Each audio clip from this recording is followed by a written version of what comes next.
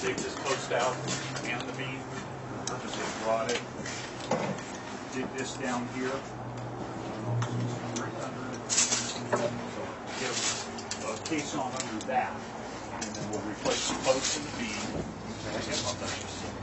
Um, replace, take the handrail off of both sides of this, so you can get to it. We're gonna replace the two by ten top and the two by four, um, rail that's rotted here.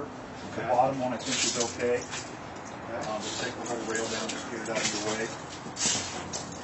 Um, and obviously this thing, it is saggy, so we want to jack it up, rack it, so it's back to level. We'll replace this beam coming all the way through to here. And then I'll have Jeff make that bracket coming off of this post to pick it up. So it'll be just in front. Yeah, it's realistically, I'm looking at the seven inches. That they were apart, it should be about the same. So, um, basically, that's about how far it should be. So you'll have to cut this off, obviously the way they laced them, so you can extend that beam all the way through. Yeah, we'll put a hanger there.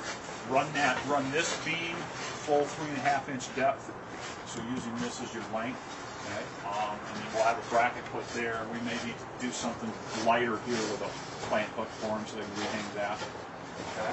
So doing that, then we want to get under these two posts and get a header. There's a joist and then the rim on the outside. So get a small header up underneath there, to support these posts. Okay. And then we can stand out here and look at this. You can see this deck is dropping in this corner. Beam is somewhere along in here. Pull up a couple of pieces of decking, find that beam, jack it up, replace those posts on this corner. Um, I think you probably only have to do these couple on the end and get it kind of leveled back up. And we'll get started from that point.